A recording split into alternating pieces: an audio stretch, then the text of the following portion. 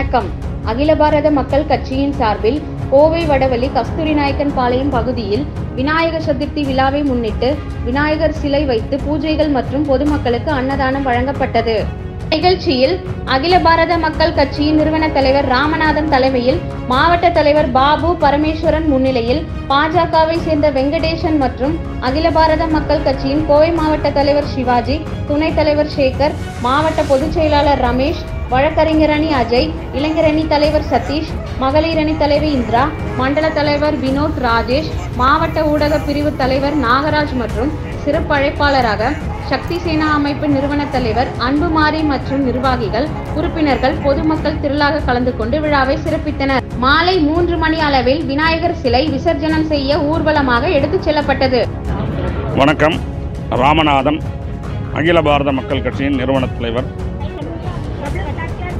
இந்த வருடம் அகில பாரத மக்கள் கட்சியின் சார்பாக விநாயகர் சதுர்த்தி வெகு விமர்சையாக இன்று காலையில் இருந்து கொண்டாடி கொண்டிருக்கிறோம். அன்னதானம் முதல் மாலை மூணு மணி அளவில் விசர்ஜன ஊர்வலம் வரை வெகு விமர்சையாக கொண்டாடி கொண்டிருக்கிறோம். இந்த விநாயகர் சதுர்த்தி விழாவில் எங்களுக்கு அனுமதி மறுக்கப்படுகிறது. ஆனால் விநாயகர் வைத்துக்கொள்ள அனுமதி அது எந்த விதத்தில் நியாயம் தெரியல.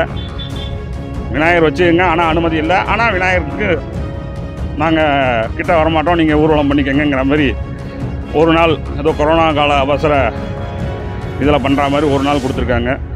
இந்த திராவிட ஆட்சி இந்த வருஷத்தோட ஒழிஞ்சு நாசமாக போகணும்னு இந்த விநாயகர்கிட்ட நாங்கள் பிரார்த்தனை பண்ணிக்கிறோம். அடுத்த ஆட்சி இந்துக்களுக்கு சப்போர்ட்டாக இருக்கிற ஆட்சி வரணும். இந்துக்கள்லாம் சுதந்திரமாக அவங்களோட பண்டிகையை கொண்டாடணும் அப்படிங்கிற மாதிரி இந்த விநாயகர்கிட்ட நாங்கள் வேண்டிக்கிறோம்.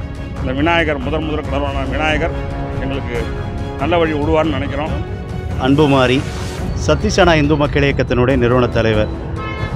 ராமநாதன்ஜி மிகப்பெரிய அளவில் ஒரு சமூக போராளியாக கோவை மாவட்டத்தில் பல்வேறு மக்களுக்கு ஏழை எளிய மக்களுக்கு பல்வேறு வகையில் உதவி செய்யக்கூடிய ஒரு நல்ல நண்பர் என்னுடைய போராளி ராமநாதன்ஜி.